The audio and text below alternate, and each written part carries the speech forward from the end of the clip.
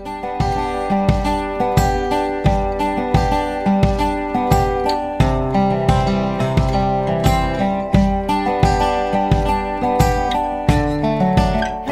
everybody welcome back to Learnex मैं हूँ आपकी ट्रेनर मीरा और आज हम सीखने वाले हैं कुछ करेक्ट इंग्लिश प्रोनाउंसिएशन सही सुना। इंग्लिश प्रोनाउंसिएशन नहीं होता है प्रोनाउंसिएशन होता है। ठीक है? फिर से दोहराइए मेरे साथ। प्रोनाउंसिएशन आप प्रोनाउंस कह सकते हो, लेकिन प्रोनाउंसिएशन नहीं। ठीक है? याद रखिए it is pronunciation moving on किसका प्रोनाउंसिएशन फ़ैशन ब्रांड्स का प्रोनाउंसिएशन और क्यों सीख रहे हैं हम ये आज? क्योंकि इतने साल में हमारे यहाँ पे, हमारे कंट्री में हम जब भी मॉल में जाते हैं या फिर हम लोग ऑनलाइन बाय कर रहे होते हैं तो हमें इन सारे ब्रांड्स का, के प्रोडक्ट्स हमें ऑनलाइन दिखते हैं। लेकिन ऐसे कितनी बार होता है कि हम मॉल में जाते हैं, लेकिन हम जो ब्रांड चाहते हैं, उनको प्रोनाउंस नहीं कर सकते। तो इसीलिए मैं आज आपके लिए लाई हूँ कुछ ऐसे ही करेक्ट प्रोनाउंसिएशन और ऑब्वियसली अगर ये तो सारे नाउन्स है, किसी के नाम है राइट तो किसी के नाम अगर हम लोग गलत प्रोनाउंस करेंगे, जैसे अगर मेरा नाम मीरा है तो कोई मुझे कुछ और बुला रहा है तो मुझे इतना अच्छा नहीं लगेगा। तो क्यों ना हम कुछ उनके नाम सही तरीके से सीख लें, ताकि जब हम बात करेंगे तो सामने वाले को भी पता चलेगा, और आप भी थोड़ा स्टाइलिश लगोगे, और आप इन वोग भी लगोगे। तो चलिए देखते हैं पहला वर्ड क्या है। पहली ब्रांड है M I U M I U ये एक इटालियन ब्रांड है। और आपको मैं एक फ़नी स्टोरी बताऊँ, ये ब्रांड के बारे में मुझे सबसे पहले पता चला जब मैं दिल्ली के एक मार्केट में गई थी और मुझे वहाँ पे एक बैग्स दिखे। तो काफ़ी सारे बैग्स पे ऐसे नाम लिखे हुए थे। तो मैंने उन्हीं को पूछा, भैया, ये क्या ब्रांड है? कहाँ से है? मुझे तो पता नहीं था। तो उन्होंने बोला, मैम, ये तो म्यू म्यू है। और मुझे तब पहली बार पता चला इस ब्रांड के बारे में। ये ब्रांड ख़ास तौर पे काफ़ी सारे हैंड बैग्स बनाते हैं और एक्सेसरीज़ बनाते हैं। तो इनका, इसका प्रोनाउंसिएशन कैसे होगा? म्यू म्यू बहुत सिंपल है।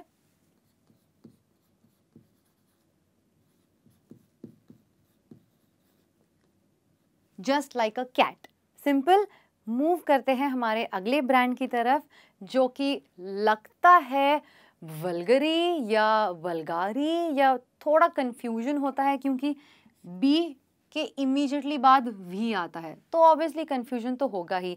ये भी एक लग्जरी इटालियन ब्रांड है, जो कि काफ़ी सारे परफ्यूम्स मेकअप्स बनाता है और इसका एक्चुअल प्रोनाउंसिएशन है वलगारी। देखते हैं इसको हम पार्ट्स एंड पीसेस में कैसे प्रोनाउंस कर सकते हैं। वल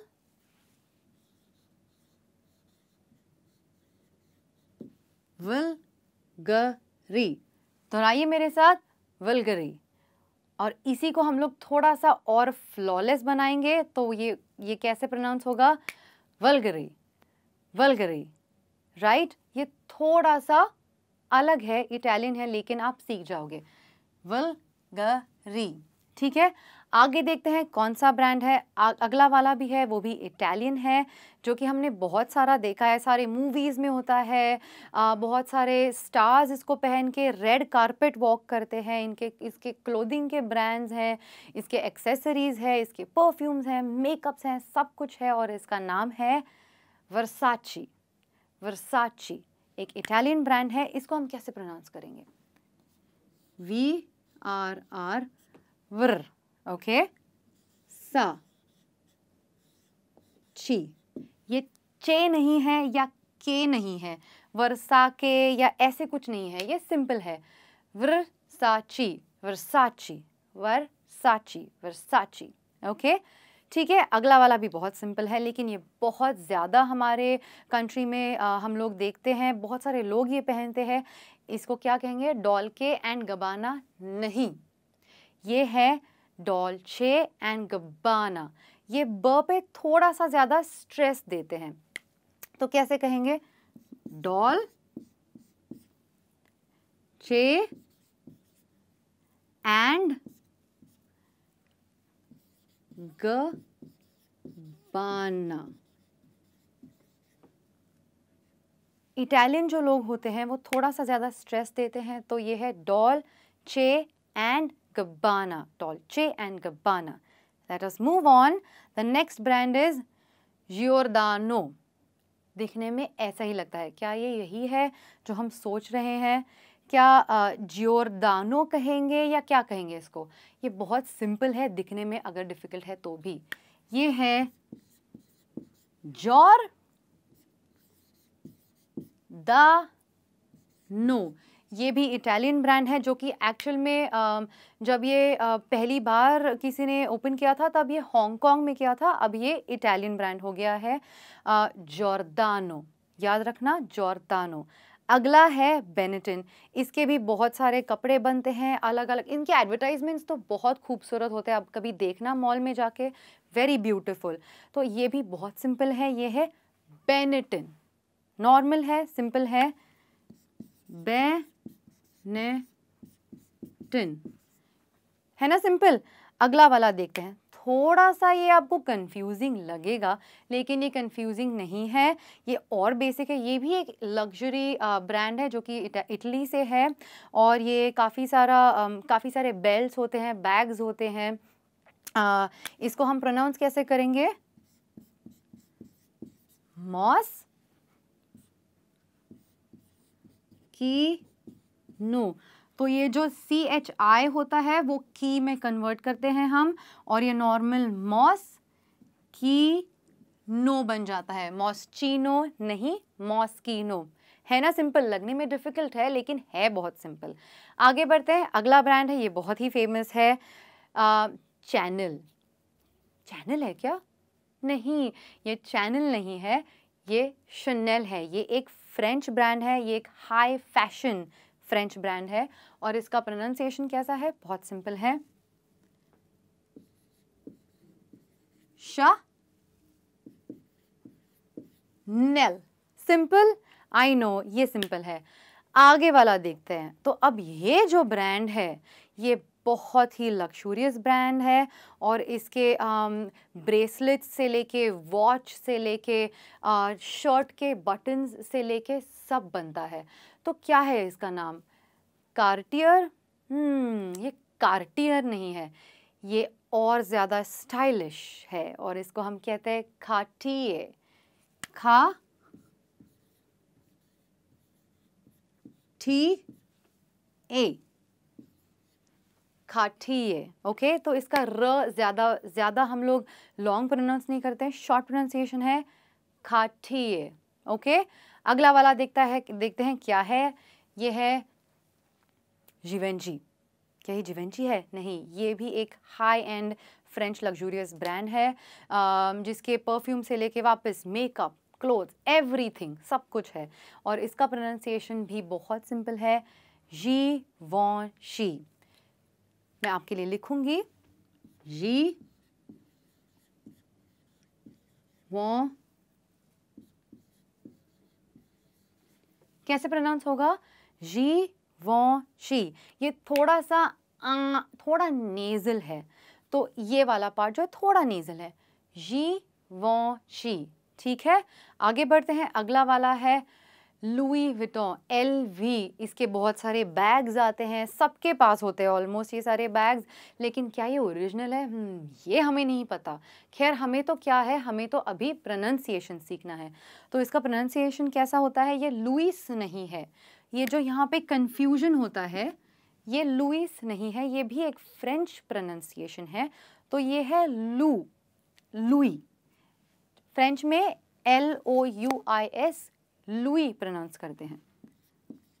लू ई और वितो जो है, वो भी बहुत डेलिकेटली प्रोनाउंस करते हैं। थोड़ा सा नेजल में बात करके, लुई वितो ठीक है? लुई वितो अगला ब्रांड है, ये इसकी ये इसकी हिस्ट्री जो है, वो बहुत पुरानी है। ये पहले हॉर्सेस यानी घोड़ों के सैडल्स बनाते थे। ये जो वाली ब्रांड है और इसका ब्रांड प्रोनाउंसिएशन हेरमेज नहीं है या हरमेस नहीं है इसको हम प्रोनाउंस करेंगे एयरमेज इसको हटा दो एच को हटा दो और एस को ज में कन्वर्ट करो. तो ये बनता है एयर एयरमेज ओके आगे देखते हैं कौन सा ब्रांड है? लकोस्ट है, जिसका क्रोकोडाइल वाला शेप का टी शर्ट आता है, जिनका ब्रांड का लोगो क्रोकोडाइल का है तो इसकी हिस्ट्री बड़ी मज़ेदार है। ये ब्रांड जो है, वो एक टेनिस प्लेयर, जिसका नाम भी यही था। उसने शुरू किया था और उसका निक नेम जो था वो था क्रोकोडाइल उसको लोग क्रोकोडाइल बुलाते थे। तो जब उसने अपना क्लोथिंग ब्रांड शुरू किया, ये बहुत सारे टी शर्ट्स बनाते हैं तो जब उसने अपना क्लोथिंग ब्रांड शुरू किया तो उसने क्रोकोडाइल का ही लोगो उसमें लगा दिया। तो इसका प्रोनाउंसिएशन लैकोस्टे नहीं है। इसका प्रोनाउंसिएशन बहुत सिंपल है, वो है Lacoste Lacoste okay let us move on ये अमेरिकन ब्रांड है इसके भी बहुत सारे टी शर्ट्स आते हैं और ये क्लोदिंग और एपरल में ज़्यादा फ़ेमस है जो कि है टॉमी हिल फिगर ओके जिस जो जो लिखा है टॉमी और हिल फिगर हिल फिगर ये भी बहुत सिंपल है Tommy Hilfiger Hilfiger ठीक है? आ, आगे बढ़ते हैं अगला कौन सा ब्रांड है? वैन ह्यूजन ओके ये भी एक क्लासिक अमेरिकन ब्रांड है क्लोथिंग में है ख़ास तौर पे इसके सूट्स बहुत सुंदर बनते हैं, इसके फॉर्मल कपड़े बहुत सुंदर होते हैं, और इसका प्रोनाउंसिएशन है Van you gen Van Heusen कहिए? Van Heusen awesome let us move on चलो ये दिखने में तो बहुत ही कॉमन है। क्या है ये? मैंगो?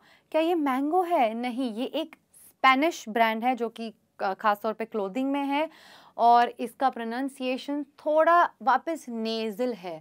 इट्स मैंगो, यानी एम ए के बाद अगर आप ई e ऐड करो तो ये इसका प्रोनाउंसिएशन बनता है Mango, okay? Let us move on Vogue ये आ, बहुत साल पहले जब ये शुरू हुआ था तो ये वीकली मैगज़ीन के तौर पे न्यूज़पेपर के तौर पे शुरू हुआ था। तो इसका क्या नाम है? वोग वोग वोग इसको ऐसे प्रोनाउंस करते हैं।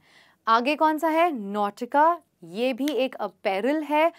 इसके बहुत सुंदर समर ग्लासेस बनते हैं और इसके बीच रिजॉर्ट्स भी हैं काफ़ी सारे तो इसका प्रोनाउंसिएशन बहुत सिंपल है। इट इज़ नोटिका नो टी का है ना सिंपल अगला वाला ब्रांड कौन सा है? ये एक आई वेयर ब्रांड है, जो कि है आई डी ई ई जी हाँ ये इसमें आलिया आलिया भट्ट है और वरुण धवन है, जो जिनकी एड हम लोग देख रहे हैं आजकल बहुत सारे ऑनलाइन में। तो इसका प्रोनाउंसिएशन बहुत सिंपल है, इतना कंफ्यूजिंग नहीं है। सिंपल रखो सिंपल ही है। आई डी इतना सिंपल है। ई डी नहीं है आई डी तो मैं आपके लिए इतने सारे वर्ड्स लेके आई हूँ। आप भी मुझे कुछ कमेंट्स में लिख के भेजिए कि आपको कौन सा प्रोनाउंसिएशन पता नहीं था, कौन से ब्रांड्स पता नहीं थे और अब पता चले हैं। और अगर आप मेरे से और ऐसे कुछ ब्रांड्स के बारे में पूछना चाहते हो तो बिल्कुल पूछिए। मैं आपके लिए बहुत ही जल्दी ऐसे ही इंटरेस्टिंग टॉपिक्स लेके आऊँगी जो आपको हेल्प करेंगे, मदद करेंगे बेटर होने के लिए। तब तक make sure you practice make sure you smile spread love this is me Meera signing off for the day. Bye.